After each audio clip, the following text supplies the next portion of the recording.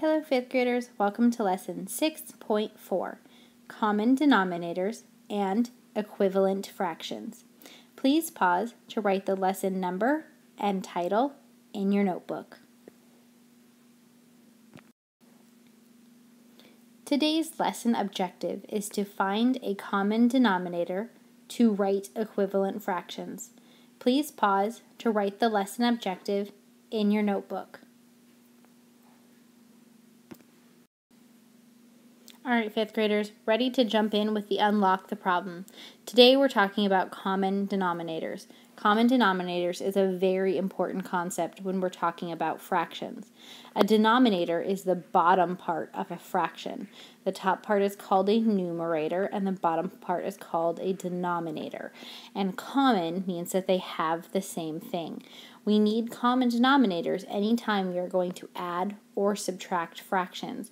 So today we're going to talk about how we can make common denominators.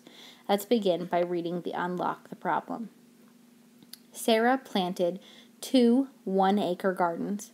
One had three sections of flowers, and the other had four sections of flowers.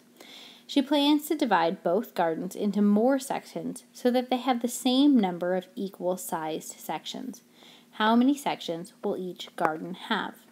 We can use a common denominator or a common multiple of two or more denominators to write fractions that have the same part of a whole. So one way that we can do this is to multiply the denominators. So if we look here in the one way, we have one garden that's split into three, like it said, and we have one garden that's split into four. But we want to make them all be the same. So one way to do that is to multiply them. So we could multiply 3 times 4 and that is 12. And that means that both numbers can become 12. So I can split my 3's into 3, 4 parts.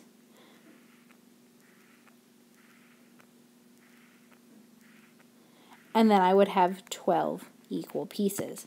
I could also split my 4's into 3 parts each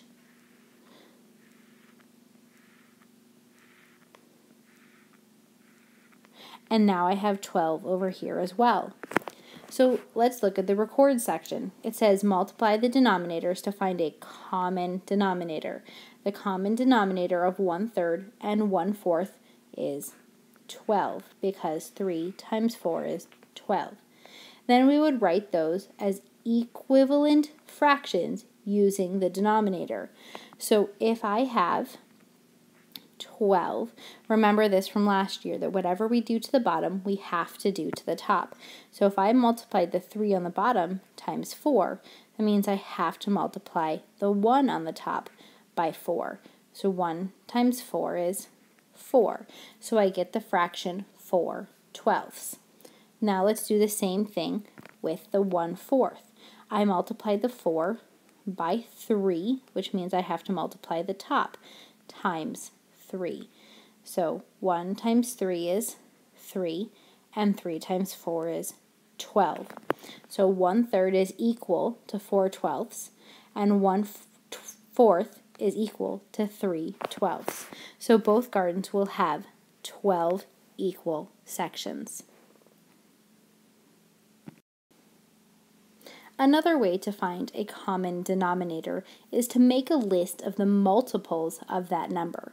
When we think common denominators, we want to think bigger numbers, not smaller numbers, because in order to get smaller, we would need to divide.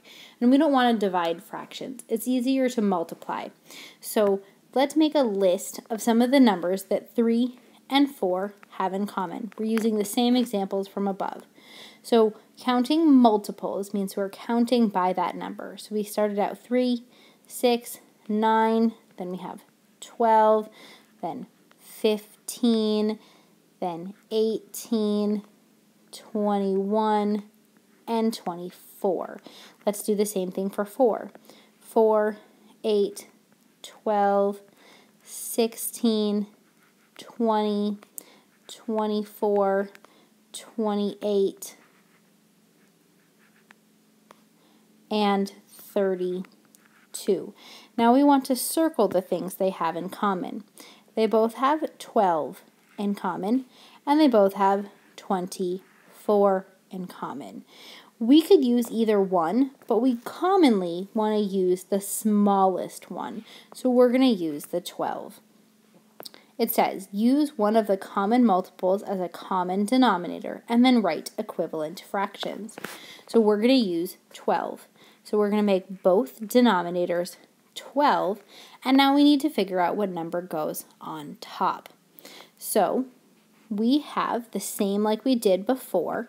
If we multiply the bottom times 4 in order to get 12, then we need to multiply the top times 4. So 4 times 1 is 4. And same thing with the 4. In order to get 4 to turn into a 12, we multiply by 3. And whatever we do to the bottom, we have to do to the top. So 3 times 1 is 3. So both gardens could have 12, or the other number that they have in common would be 24. For the sake of practice, let's write these fractions as 20 fourths. So if I had 1 third and I wanted to make it something over 24, then I would think, hmm, what do I multiply 3 by to make 24? Well, 3 times 8 is 24. And whatever I do to the bottom, I have to do to the top. So that means 8 24ths. And if I was going to do the same thing with 1 fourth and turn that into a 24, then I would multiply 4 times what gave me 24? Oh, that's a 6.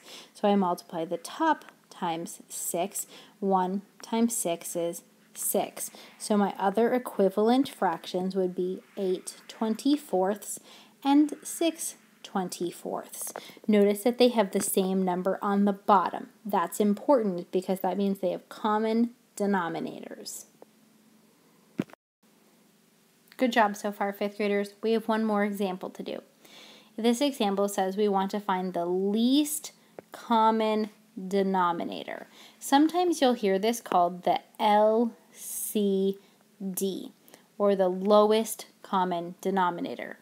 When we find the lowest common denominator, it helps us out with fractions because when we get into simplifying fractions, if answers are already in their lowest common denominator, then we will have to do a lot less simplifying. So for this example, it says we're going to find the least common denominator of 3 fourths and 1 sixth. In order to find out what the least common denominator is, we're going to count the multiples of these numbers. So let's count by fours. 4, 8, 12, 16, 20, 24, 28. Now let's count by sixes. 6, 12, 18, 24, 30, and 36. Now let's circle the things they have in common. They have in common the number 12, and they have also in common the number 24. But remember, we want to find the lowest common denominator. So that means that our lowest common denominator is going to be 12 because it's the smallest number that they have in common. Once we find the smallest number that they have in common, we want to make an equivalent fraction. So we're going to change 3 fourths into something over 12. In order to do that, we need to know 4 times 3 gives us 12 and whatever we do to the bottom, we have to do to the top. So if I multiply the bottom by 3, I have to multiply the top times 3.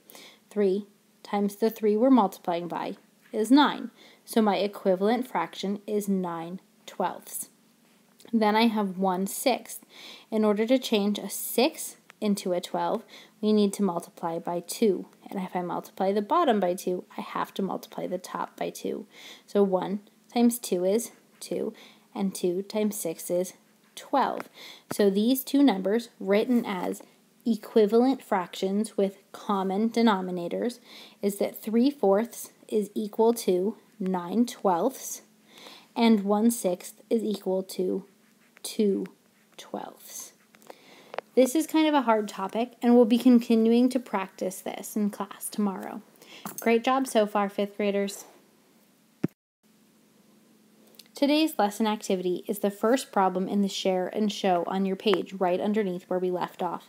It says, find a common denominator of 1 sixth and 1 ninth, and then rewrite the pair of fractions using the common denominators. So it says, for this example, we're going to multiply the denominators to find a common denominator. So if I multiply 6 times 9, I get 54. 54 is not the lowest common denominator, but it is a common denominator. So now let's go ahead and think about how we would rewrite these.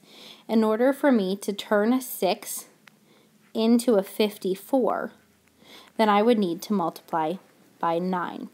And if I multiply the bottom by 9, I have to multiply the top by 9. 1 times 9 is 9. And now let's try our other fraction. In order to change a 9 into a 54, we would have to multiply by 6.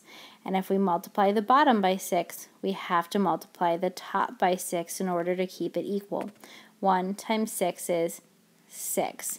So my equivalent fractions would be 9 54ths and 6 54ths.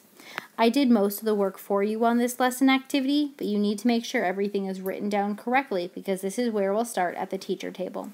Great job, fifth graders.